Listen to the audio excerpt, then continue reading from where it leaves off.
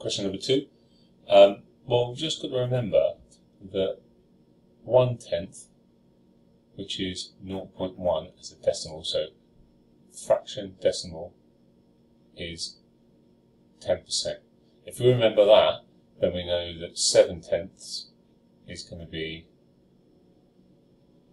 oh, 7 tenths is going to be 0.7 and therefore that's just going to be 70%. Straightforward.